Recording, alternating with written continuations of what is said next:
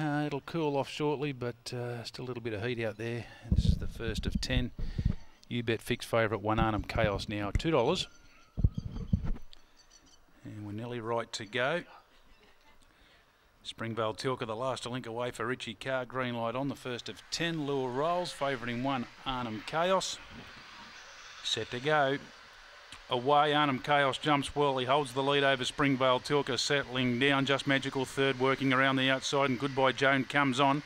A gap in the field, then working off the back to Blue Away and Valantis. It's Arnhem Chaos, the leader. Goodbye Jones coming out after it, and then Just Magical. But Arnhem Chaos, the old warrior, the leader. He's going to see it out.